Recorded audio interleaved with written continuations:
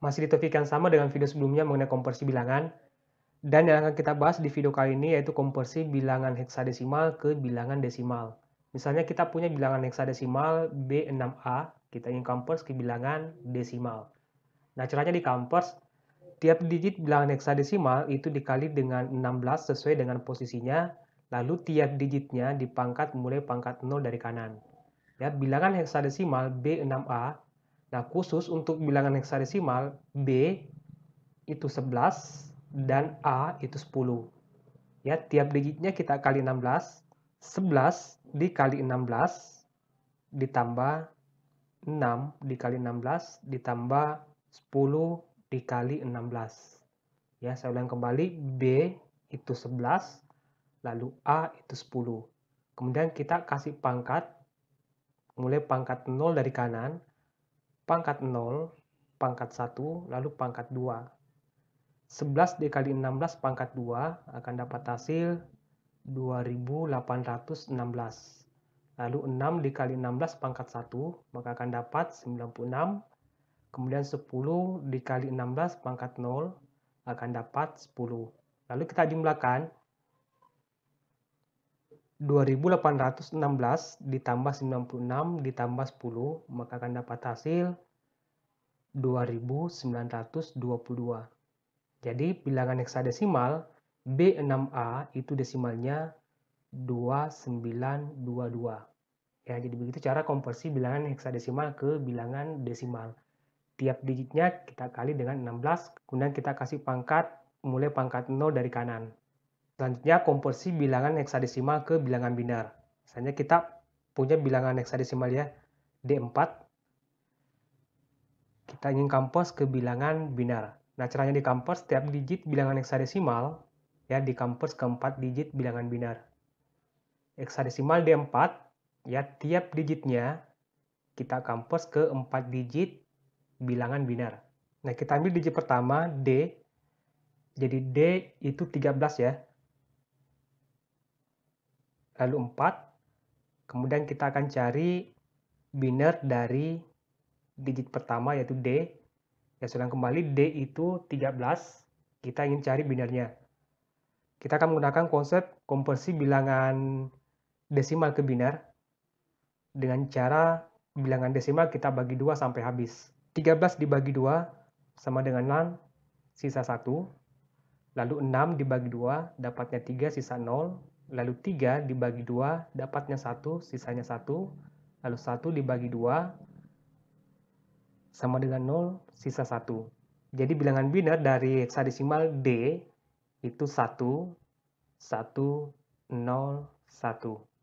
Lalu digit yang kedua ya, digit 4 ini kita kompos ke bilangan binar menggunakan konsep yang sama yaitu 4 dibagi 2 dapatnya 2 sisa 0 lalu 2 dibagi 2 dapatnya 1 sisa 0 lalu 1 dibagi 2 dapatnya 1 sisa 1 Nah, binarnya untuk desimal yang 4 ini yaitu 1, 0, 0. Nah, untuk konversi ini, jika dapatnya 3 digit, maka tambahkan 0 di sebelah kiri. Jika hasil konversinya dapat 2 digit dan mengharuskan 4 digit yang dikumpulkan, maka tambahkan 2 0 di sebelah kiri. Ya, paham ya? Jadi binar dari bilangan heksadesimal D4 yaitu 1, 1, 0, 1, 0, 1, 0, 0. Ya, jadi begitu cara konversi bilangan heksadesimal ke bilangan binar. Tiap digit bilangan heksadesimal kita convert ke 4 digit bilangan binar. Selanjutnya, konversi bilangan heksadesimal ke bilangan oktal. Nah, ini mungkin agak ribet ya konversinya. Misalnya kita punya bilangan heksadesimal D4 ya. Nah, cara di kampas, bilangan heksadesimal dikonversi ke bilangan binar terlebih dahulu. Nah, setelah itu dikonversi ke bilangan oktal dengan mengumpulkan tiga digit bilangan binar. Nah, setelah itu dikonversi ke bilangan binar ke desimal. Ya, agak rumit ini ya. Bilangan heksadesimal, ini kita sudah mendapat eh, binarnya dari konversi yang tadi heksadesimal ke binar. Anggaplah sekarang binarnya kita sudah dapat ya 1101 0100 Sisanya ini kita convert ke bilangan oktal ya. Jadi binarnya tadi 1101, 0100. Bilangan binar ini kita convert ke bilangan oktal. Nah, dengan cara mengumpulkan tiga digit bilangan binar. Kita ambil dari kanan 0, 0, 1, lalu 0, 1, 0, kemudian 1, 1. Nah, dapatnya dua digit, kita diharuskan kumpulkan tiga digit, maka tambahkan 0 di sebelah kiri. Nah, selanjutnya kita akan mencari bilangan oktal dari biner ini dengan cara mengkompers biner ke desimal. Ya, mudah-mudahan teman-teman masih ingat konversi bilangan biner ke bilangan desimal. Tiap digitnya kita kali dua, kemudian kita kasih pangkat, mulai pangkat 0 dari kanan. Kita mulai dari sini ya. 1 dikali 2 ditambah 0 kali 2 ditambah 0 kali 2. Kemudian kita kasih pangkat 0 dari kanan, pangkat 0, pangkat 1, dan pangkat 2.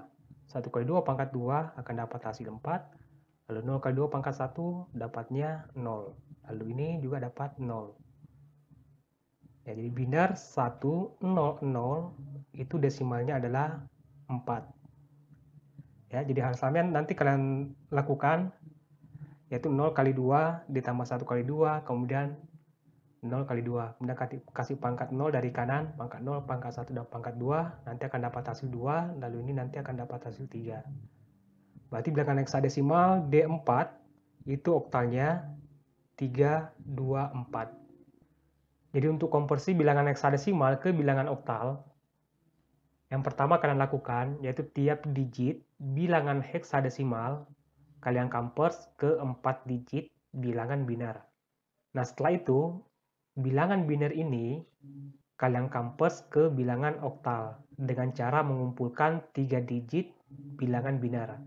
Nah, untuk mendapatkan oktal dari 3 digit ini, konversi menggunakan binar ke desimal dengan cara tiap digit dikali 2, kemudian kasih pangkat tiap digitnya mulai pangkat 0 dari kanan.